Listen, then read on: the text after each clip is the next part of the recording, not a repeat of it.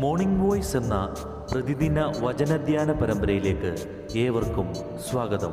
കൃപയേകേണം കൃപാനിധിയെ കൃപാനിധിയെ കൃപാനിധിയെ കൃപയേകേണം കൃപാനിധിയെ കൃപാനിധിയെ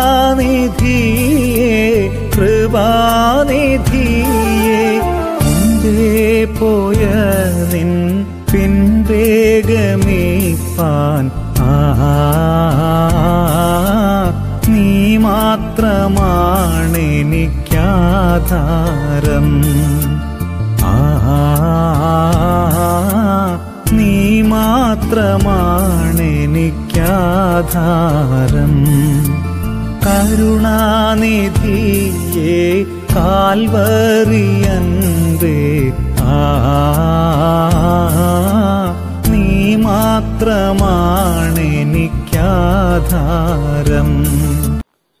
ഇന്ന് നമ്മോട് ധ്യാനചിന്ത പങ്കുവെക്കുന്നത് സുശേഷകൻ സാം സെക്രിയ കൊട്ടാരക്കര. പ്രാർത്ഥനയോടെ ശ്രമിച്ചാൽ മോർണിംഗ് വോയിസിലൂടെ ഞങ്ങളെ ശ്രദ്ധിക്കുന്ന എല്ലാ പ്രിയപ്പെട്ടവർക്കും യേശുക്രിസ്തുവിന്റെ ധന്യനാമത്തിൽ സ്നേഹാവന്ദനം. ഒരു കർത്തൃദിവസമായി ഇന്ന് നമുക്ക് നമ്മുടെ കർത്താവിനെ ആരാധിക്കുവാൻ പര്യാപ്തമായ ഒരു ചിന്ത പതിനാറാം സങ്കീർത്തനം അഞ്ചാം വാക്യത്തിലൂടെ ചിന്തിക്കുവാൻ ആഗ്രഹിക്കുകയാണ്. എന്റെ അവകാശത്തിന്റെയും പാനപാത്രത്തിന്റെയും പങ്ക് ഹോവയാകുന്നു നീ എനിക്കുള്ള ഓഹരിയെ പരിപാലിക്കുന്നു. ഭൂമിയിലെ വിശുദ്ധന്മാരുടെ ശ്രേഷ്ഠതയാണ് പതിനാറാം സങ്കീർത്തനത്തിലെ വിഷയം. ഭൂമിയിലെ വിശുദ്ധന്മാരോ അവർ എനിക്ക് പ്രസാദമുള്ള ശ്രേഷ്ഠന്മാർ തന്നെ. അവർ അന്യദൈവങ്ങളെ സേവിക്കാത്തവരാണ്. അവർ യഹോവയാൽ ബുദ്ധി ഉപദേശിക്കപ്പെട്ടവരാണ് യഹോവയെപ്പോഴും തങ്ങളുടെ മുമ്പിൽ വച്ചിരിക്കുന്നത് കൊണ്ട് കുലുങ്ങിപ്പോകേണ്ടി വരുന്നില്ല. അവർ ജീവന്റെ വഴിയിൽ നടക്കുന്നവരും ദൈവത്തിന്റെ വലത്തുഭാഗത്തെ പ്രമോദം അനുഭവിക്കുന്നവരുമായിരിക്കും. അഞ്ചാം വാക്യത്തിൽ എന്റെ അവകാശത്തിന്റെയും പാനപാത്രത്തിന്റെയും പങ്ക് യഹോവയാകുന്നു. നീ എനിക്കുള്ള ഓഹരിയെ പരിപാലിക്കുന്നു എന്ന് വായിക്കുന്നു. ദൈവമായുള്ള ഉറ്റ സഹിത്വമാണ് ഇവിടെ വ്യക്തമാക്കുന്നത്. ഒരു പാത്രത്തിൽ നിന്ന് പങ്കിട്ട് അനുഭവിക്കുന്നതാണ് യഥാർത്ഥ കൂട്ടായ്മ. നാം പാപനിമിത്തം ദൈവവുമായുള്ള കൂട്ടായ്മ ബന്ധം നഷ്ടപ്പെട്ടവരായിരുന്നു. എന്നാൽ ക്രിസ്തുവിൽ നമ്മുടെ പാപങ്ങൾ പരിഹരിക്കപ്പെട്ടതിനാൽ അനുഗ്രഹീതമായൊരു കൂട്ടായ്മയിലേക്ക് ദൈവം നമ്മെ വിളിച്ചിരിക്കുകയാണ്. ഒന്ന് കൊരുന്നതാം അധ്യായം ഒൻപതാം വാക്യത്തിൽ തന്റെ പുത്രനും നമ്മുടെ കർത്താവുമായ യേശു ക്രിസ്തുവിന്റെ കൂട്ടായ്മയിലേക്ക് നമ്മെ വിളിച്ച ദൈവം വിശ്വസ്തനെന്ന് രേഖപ്പെടുത്തിയിരിക്കുന്നു.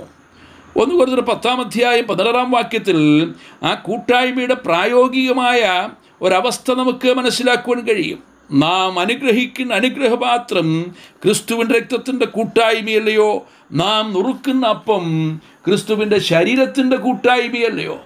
അതെ കഥാവായ യേശുക്രിസ്തുവിന്റെ ശരീരത്തോടും യേശു ക്രിസ്തുവിന്റെ രക്തത്തോടുമുള്ളൊരു കൂട്ടായ്മ നമ്മുടെ ജീവിതത്തിൽ നിലനിർത്തിപ്പോരുവാൻ ദൈവം നമുക്ക് നൽകിയിരിക്കുന്ന ഒരു മേശയാണ് കർത്താവിന്റെ മേശ. രക്ഷിക്കപ്പെട്ടപ്പോൾ നമുക്ക് ദൈവവുമായുള്ള കൂട്ടായ്മ ബന്ധമുണ്ടായെങ്കിലും ആ കൂട്ടായ്മ നിലനിർത്തിക്കൊണ്ടു പോകേണ്ടത് അത്യന്താപേക്ഷിതമാണ്. കുലോശിലെ രണ്ടാം അധ്യായം ആറാം വാക്യത്തിൽ നിങ്ങൾ കർത്താവായ ക്രിസ്തുവേശുവിനെ കൈക്കൊണ്ടതുപോലെ അവന്റെ കൂട്ടായ്മയിൽ നടപ്പീൻ എന്ന് രേഖപ്പെടുത്തിയിരിക്കുന്നു.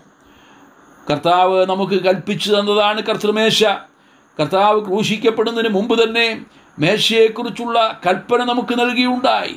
ശിഷ്യന്മാരുമായി പെസഹ ആദരിച്ച ശേഷം അപ്പമെടുത്ത് വാഴ്ത്തി നുറുക്കി അവർക്ക് കൊടുക്കിയുണ്ടായി ഇത് നിങ്ങൾക്ക് വേണ്ടി നൽകുന്ന എന്റെ ശരീരം എന്റെ ഓർമ്മയ്ക്കായി ഇത് ചെയ്വീനെന്ന് പറഞ്ഞു. അതുകൊണ്ട് തന്നെ അത്താഴം കഴിഞ്ഞ ശേഷം അവൻ പാനപാത്രവും കൊടുത്തു. ഈ പാനപാത്രം നിങ്ങൾക്ക് വേണ്ടി ചൊരിയുന്ന എന്റെ രക്തത്തിലെ പുതിയ നിയമമാകുന്നു ഇതിന്റെ വിശദീകരണമാണ് ഒന്ന് കൂടുതൽ പത്ത് പതിനൊന്ന് അധ്യായങ്ങളിൽ നാം കാണുന്നത്.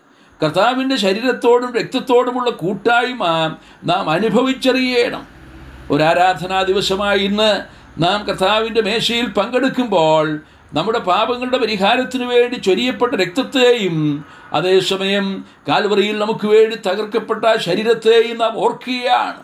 കർത്താവ് ക്രൂശിൽ തകർക്കപ്പെട്ടില്ലായിരുന്നെങ്കിൽ നമ്മുടെ പാപങ്ങൾക്ക് പരിഹാരമുണ്ടാകിയില്ലായിരുന്നു അവനെ തകർത്ത് കളവാൻ യഹോവയ്ക്ക് ഇഷ്ടം തോന്നിയെന്ന് നാം അൻപത്തിമൂന്നാം അധ്യായം യശയാപ്രവചനത്തിൽ വായിക്കുന്നത് പോലെ നമ്മുടെ കർത്താവ് നമുക്ക് വേണ്ടി അക്ഷരാർത്ഥത്തിൽ തന്നെ കാൽവറിലെ ക്രൂശിൽ തകർക്കപ്പെട്ടു.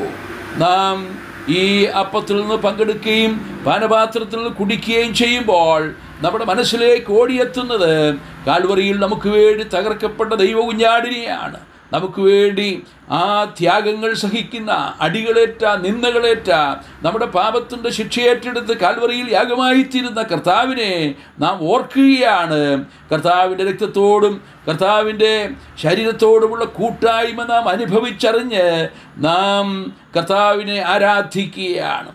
കർത്താവ് നമുക്ക് വേണ്ടി ഒരു ശരീരമൊരുക്കി എന്നാണ് നമ്മൾ തിരുവഴുത്തിൽ നിന്ന് മനസ്സിലാക്കുന്നത് നീ എനിക്ക് വേണ്ടി ഒരു ശരീരം ഒരുക്കിയിരിക്കുന്നുവെന്ന് നാം തിരുവഴുത്തിൽ നിന്ന് മനസ്സിലാക്കുന്നു. ആ ശരീരം ഒരുക്കപ്പെട്ട ശരീരമാണ്. മറ്റാരുടെയും ശരീരം പാപം ചുമക്കുവാൻ ഒരുക്കപ്പെട്ടതായിരുന്നില്ല. എന്നാൽ കർത്താവിന്റെ ശരീരം അതിനുവേണ്ടി നിത്യതയിൽ തന്നെ ഒരുക്കപ്പെട്ടു. ആ ശരീരം ക്രൂശിൽ തകർക്കപ്പെട്ടു. അത് മൂന്ന് നാൾ കഴിഞ്ഞ് വീണ്ടും പണിയപ്പെട്ടു.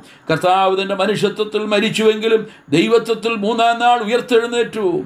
നമ്മുടെ കർത്താവിനും നമുക്കായി ജീവിക്കുന്നു. ഇനിയും തന്റെ വിശുദ്ധന്മാരെ ചേർക്കുവാൻ മടങ്ങി വരുന്നു. കർത്താവ് വരുവോളം നാം കർത്താവിന്റെ മേശ ആദരിക്കേണ്ടിയിരിക്കുന്നു. കർത്താവിന്റെ ശരീരത്തോടും രക്തത്തോടുമുള്ള കൂട്ടായ്മ. അതാണ് നാം അനുഗ്രഹിക്കുന്ന അനുഗ്രഹപാത്രം.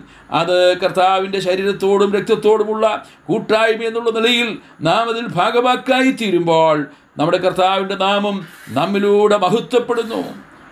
നമ്മുടെ ആത്മീയ ജീവിതത്തിനും ആരാധനയ്ക്കുമുള്ള പ്രചോദനമായിട്ട് കർത്താവിന്റെ മേശ നമുക്ക് നൽകിയതിനായിട്ട് ദൈവത്തിന് സ്തോത്രം ചെയ്യാം. കർത്താവിന്റെ ക്രൂശീകരണത്തെക്കുറിച്ച് ഓർക്കാത്ത ആരാധന ആരാധനയല്ല.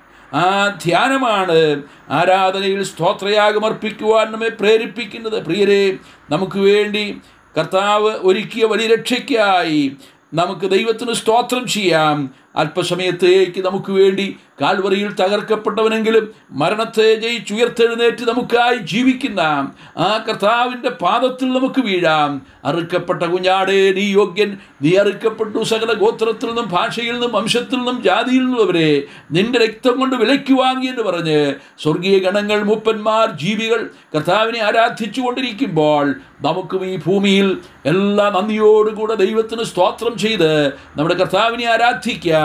കർത്താവിന്റെ നാമം ഇന്ന് വന്നേക്ക് മഹത്വപ്പെടുമാറാകട്ടെ. സ്വർഗീയ പിതാവേ ഒരു കർത്ത ദിവസം കൂടെ ഞങ്ങൾക്ക് നൽകിയത് കൊണ്ട് സ്തോത്രം. അവിടുന്ന് ഞങ്ങൾക്ക് വേണ്ടി അങ്ങയെ ഓർക്കുവാൻ നൽകിയ മേശയ്ക്കായി സ്തോത്രം. ആ മേശയിൽ ഞങ്ങൾക്ക് വേണ്ടി ഒരുക്കപ്പെട്ട ആ ശരീരത്തെയും ഞങ്ങൾക്ക് വേണ്ടി തകർക്കപ്പെട്ട ശരീരത്തെയും ഞങ്ങൾക്ക് വേണ്ടി ആ ചിന്തപ്പെട്ട രക്തത്തെയും ഓർമ്മിക്കത്തക്ക നിലയിൽ അവിടുന്ന് ഈ മേശ ഞങ്ങൾക്ക് കൽപ്പിച്ച് നൽകിയത് കൊണ്ട് സ്തോത്രം. അവിടുത്തെ ശരീരം കണ്ടാൽ ആളല്ലായി തോന്നുമാർ ഞങ്ങൾക്ക് വേണ്ടി വിരിവമാക്കപ്പെട്ടല്ലോ. അവിടുത്തെ രക്തം ഞങ്ങൾക്ക് വേണ്ടി ചിന്തിയല്ലോ. ഞങ്ങളെ വീണ്ടെടുത്തതിനായി ഞങ്ങളെ രക്ഷിച്ചതിനായി ഞങ്ങൾ അങ്ങേക്കെല്ലാം മഹത്വം അർപ്പിക്കുന്നു. ക്രിസ്തുവേശുവിന്റെ ധന്യമായ നാമത്തിൽ തന്നെ. ആമേൻ.